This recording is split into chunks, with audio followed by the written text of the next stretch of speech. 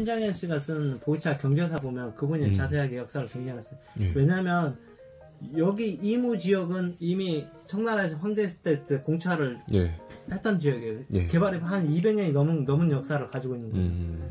이- 음, 그에 그거 비해서 여기는 민국 시대부터 예. 1900년대 초반 민국 시대부터 개발이 좀 늦게 되는 거예요. 아, 그게 쪽은. 개발이 차이에 있어서 예. 여기는 아직도 덜 개발돼서 아, 예. 남아 있는 거죠. 예. 아, 저쪽은 한번 뭐 아. 밀란도 겪었고 그렇게 예. 돼서 뭐 그래서 다 예. 나무도 다 없애고 씨. 최근에 보면은 요몇 지역들도 예전에 고차수 딸람 높잖아요. 예. 2000년대 초반에 이제 고차 고수차 바람이 불어가지고 예.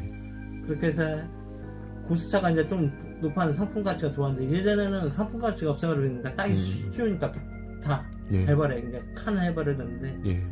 예, 그래서 이제 그런 것들이 음. 이제 아, 그러니까 예. 아이러니한 거죠. 그렇죠, 그렇죠. 예. 예, 상품성이 돼버린 거네요. 예.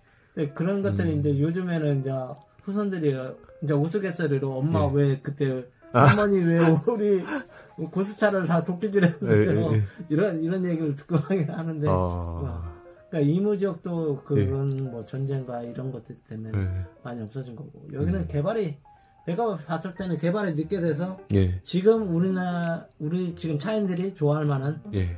아주 생태환경이 좋은 환경이 남아 있는 거죠. 그게 음. 아주 감사한 일이죠. 지금. 예. 네. 그게 가치가 되는 거고. 예.